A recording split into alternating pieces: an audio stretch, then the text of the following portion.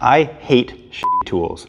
And I don't want to see you guys buy shitty tools. So today, we're going to be testing out this, one of the cheapest plasma cutters you can get on Amazon.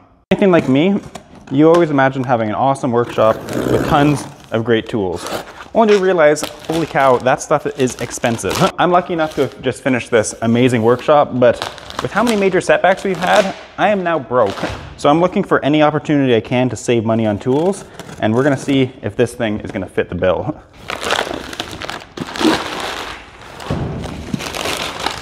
I hate cutting with a grinder. I hate how much dust it makes. It's, it's such a messy process. I've wanted a plasma cutter for a very long time. So I got this model from BestArc. It's not their actual cheapest model. I opted for a slightly upgraded one because I wanted to have CNC functionality in case I decide to upgrade one day. But this is still extremely affordable.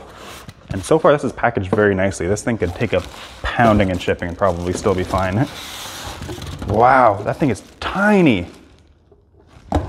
That's, that's crazy. so this thing is so small, you definitely don't even need a cart for it. You can totally just hand bomb this thing. It weighs like maybe 10 to 15 pounds. But I happen to have a leftover cart right here. it looks tiny on this thing. I have a leftover cart because I have already built what I think is probably the coolest welding cart on the internet. My Milwaukee welding cart. Yeah, let's get this thing hooked up. I can't believe this thing looks really nice already. Oh, those are very notchy buttons. All right, let's see what we've got in here. Oh, a lot more stuff than I expected. That's probably the airline. Got the ground clamp. That's really nice. They actually come with some extra consumables and the Teflon tape for putting it together. And we got the instructions. I'm a big LS guy, so I'm really not big on reading. So we'll try to get this thing together without having to read anything. We got the adapter here. I don't have 220 in the shop, so this is gonna be a pretty good test to see how it runs on one, just 110. This is the part I'm excited about. Dang. That's,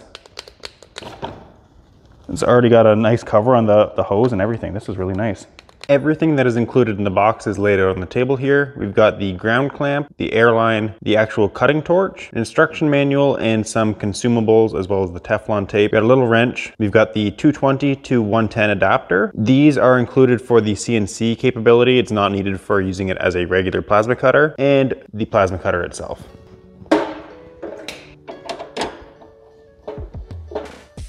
Looks like everything's got a, a detent in it, so it's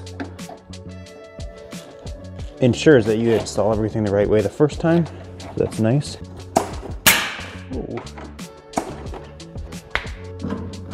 It's actually unreal how flexible this cord is for being 220. This is really nice.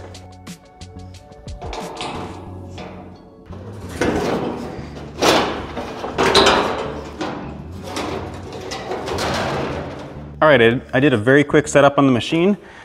This thing has never been fired, as you guys can see. We've got eighth inch thick, very rusty material. These things are supposed to have a uh, pre-arc, or whatever it's called, so it should be able to do rusty material no problem. I haven't tested this thing. Let's see how it does.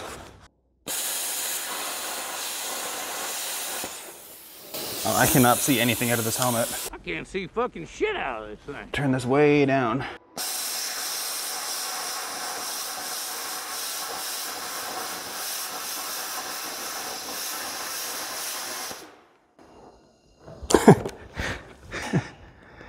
Blew the breaker. Not on the machine, I blew the breaker in my shop. okay, first cut, let's see. I did not think I would blow the breaker that quickly, but so far this thing is cutting very nicely. I was going a little bit too quick, so it didn't cut through perfectly there. Underside, very little slag already. That's, that's pretty impressive considering I have not messed with the settings at all. Chances are I've got the amperage turned up way too high for this thickness of material, so I'm gonna try turning that down and see if I can keep the breaker intact. All right, I realized the issue was not with the plasma cutter. I had the, which I knew, I had the air compressor and the plasma cutter plugged into the same breaker. When the air compressor tried to kick on, it blew the breaker. So I moved the compressor to the far side of the shop onto a different circuit. This thing's turned back on. I realized I had the amperage way too high for this amount of material. So we got that adjusted properly and we're gonna finish off this cut.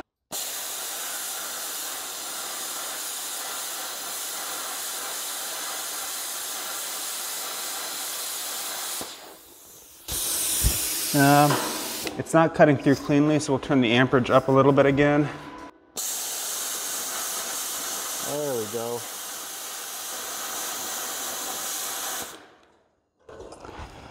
I blew the breaker again. This is embarrassing, but I've got to own up to it because it was my mistake.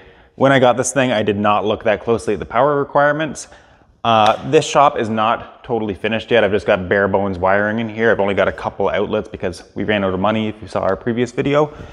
And I've only got 15 amp breakers in here. I thought that would be plenty because it's enough to run my welder. This thing needs, I think it's 40 amps, 30 or 40 amps if you're running 110 and even more if you're running 220. I don't have that here. Um, I'm gonna hang on to the tool because I am gonna finish wiring this at some point and so far it's a pretty cool little tool. To finish testing this, I spoke to one of my neighbors and they've got 220 and some bigger breakers on their 110 circuit. So we're gonna bring this unit over there to test it out and make sure that it actually works as well as I'm hoping it will. Okay, we've got it all hooked up now. I double checked the specs and I actually had it backwards. You need 30 amps if you're a 30 amp breaker if you're running it on 220 and a 40 amp breaker if you're running on 110. I was wrong. There's only 15 amp breakers on the 110 here, but we've got 220 and it's a 20 amp. So it's a little bit better and I think it'll be less taxing on the machine with it being 220. So we're gonna try it out here. This is an old piece of metal I've had floating around literally since I've been into cars. This was to fix a body mount on a truck I no longer have back in high school. So I'm gonna be cutting up a little piece of history here, but we'll see how the machine does.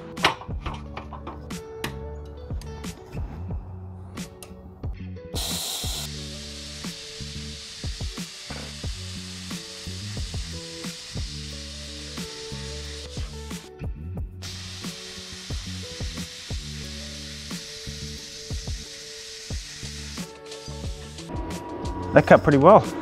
Do love that plasma cutting keeps it so cool. You can just handle everything almost immediately after. Like if you were grinding, you'd have to let this sit and cool for ages afterwards. Okay, I'm gonna do a little freehand cutting, see if it'll pop the breaker or not. Okay, I'm hyped on this tool. That's, that's crazy. No, nothing got hung up there. You didn't have to ha hammer the cut off piece loose. Just fell right off. That's sick. So initial thoughts, this thing is very impressive. I have done next to no setup on this thing. It's already cutting very clean. So next we're gonna switch to some different materials. I've got, this is all I've got for aluminum, is just some flat bar, but we'll see how it does with aluminum. It's supposed to be able to cut anything, but I know aluminum is notoriously hard to cut. And we've also got some more complex shapes. This one is painted, so it'll be a good test of the pilot arc, and it's also doubled up, which I don't know if it'll be able to cut through both with a bit of an air pocket in the middle. And yeah, we'll just try cutting through the welds and just see how it does with something a little bit more taxing. I do wish this was a bigger piece of aluminum just to give it a better test, but if it does okay, maybe I'll cut hot dog style.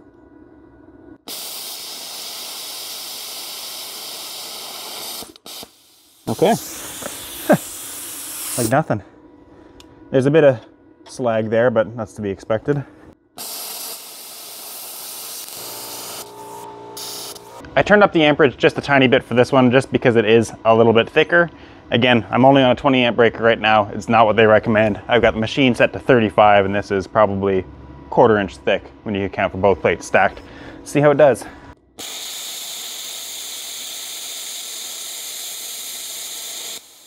I don't think that's going through. No, it's not going all the way through.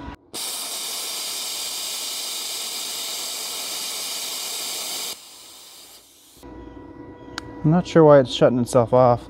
It's definitely not cutting all the way through. It's trying, but it is starting on the paint, which is nice.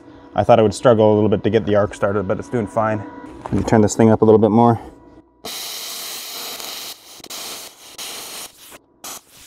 That was definitely user error. Now this might be wishful thinking, but I'm gonna see if I can cut just this weld here to separate the top plate from the bottom one. I don't, I don't know if that's something that plasma cutters should be able to do, but we're gonna see if it'll do it.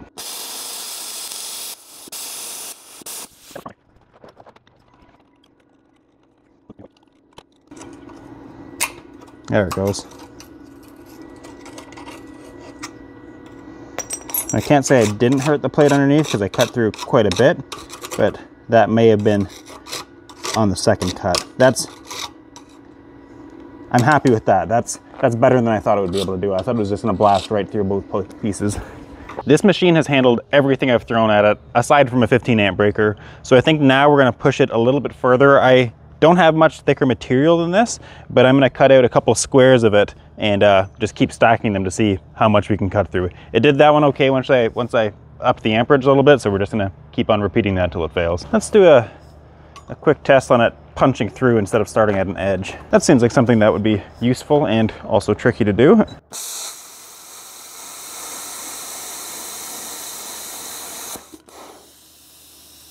Easy.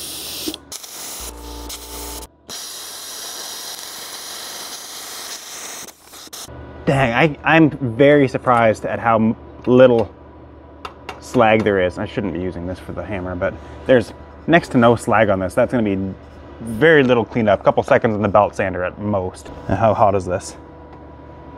Not hot at all, wow. So we're gonna push our luck here. There's, I'm thinking that there's no way that this is gonna happen. We got four plates stacked up here.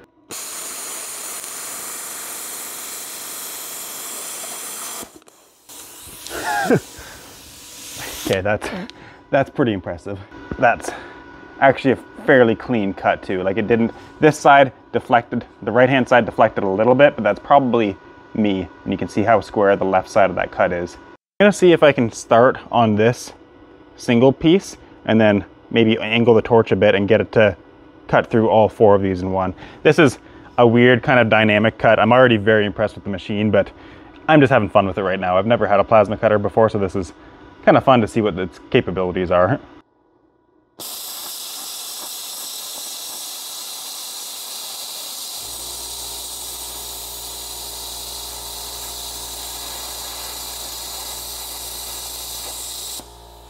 So what I want to know is what do you get out of a big brand name like Miller or Lincoln that you don't get out of a unit like this? Because as far as I can tell, you're paying 10 times the price for no reason. This thing does everything a hobbyist like me would ever need to do. I was worried that maybe it wouldn't perform that well or the build quality wouldn't be that good or be hard to find replacement parts or consumables, but it's built great. Nothing's leaking so far. It was super easy to set up. Consumables you can get straight from Amazon, which is super convenient. And it cuts really well. Like a bunch of the cuts didn't have any slag to even clean off of them. It's, it's nuts. So if you guys wanna pick one of these up, I'll put a link down below for where I got this one. And otherwise, thanks for watching guys.